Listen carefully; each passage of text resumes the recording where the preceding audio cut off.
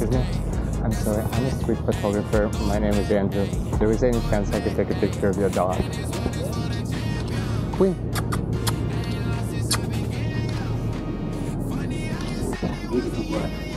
Yeah. She's so good.